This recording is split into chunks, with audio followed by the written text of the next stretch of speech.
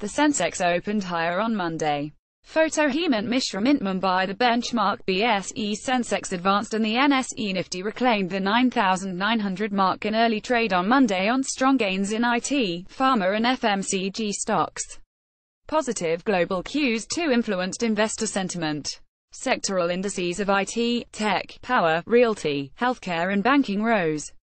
Stock markets were closed on Friday on the occasion of Ganesh Chaturthi. The NSE Nifty recaptured the 9,900 mark. Brokers said persistent buying by domestic institutional investors and a firm trend at other Asian markets on fresh hopes Donald Trump will be able to push through market-friendly tax reforms buoyed the sentiment.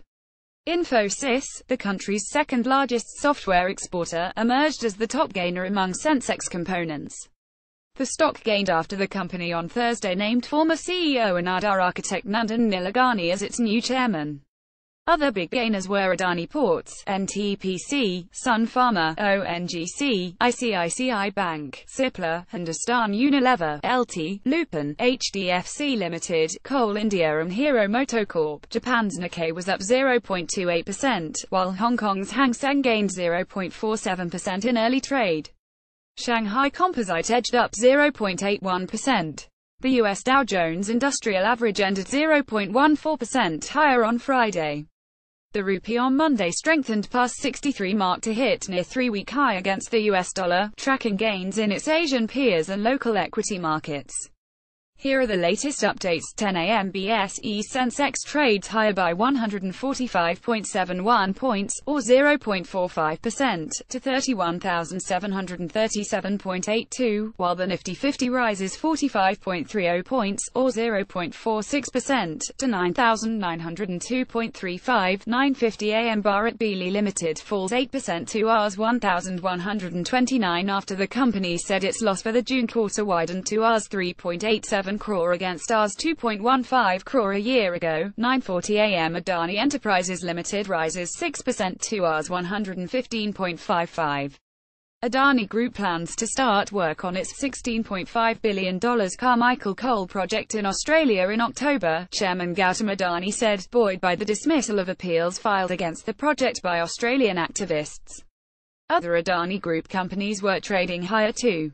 Adani Power Limited rose 4%, Adani Ports 1% and Adani Transmission Limited 1.9%. 9.30 am BSE Sensex trades higher by 116 points, or 0.37%, to 31,712.18, while the Nifty 50 rises 33.60 points, or 0.34%, to 9,890.65. 9.25 am DLF Limited rises 1% to Rs 187. 1.50 after, on Friday, DLF's audit committee approved a transaction by which the promoters will sell their stake in its rental arm DLF Cyber City Developers Limited to Reco Diamond, an affiliate of GIC Real Estate, Singapore, for a gross value of Rs 11,900 crore. 9.20 am Infosys Limited rises 4% to Rs 947 as Nandan Nilekani returns to the company after he was unanimously named by the board as its non-executive chairman in a widely anticipated move.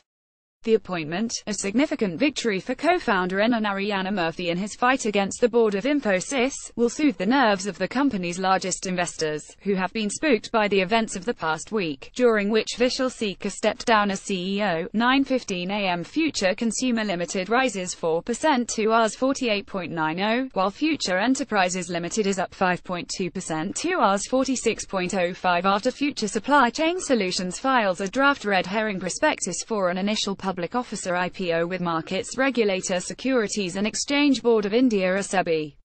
Future Enterprises to sell 1.96 million shares, or about 5% stake in the unit via the offer. Investor Griffin Partners to sell 7.83 million shares, or 25% stake in FSCSL. According to the draft prospectus, 9.10 am the rupee was trading at 64.88 a dollar, up 0.18% from its Thursday's close of 64.03. The home currency opened at 63.92 a dollar and touched a high of 63.87 a level last seen on 9. August, 9.07 am the 10-year bond yield was at 6.531%, compared to its previous close of 6.538%.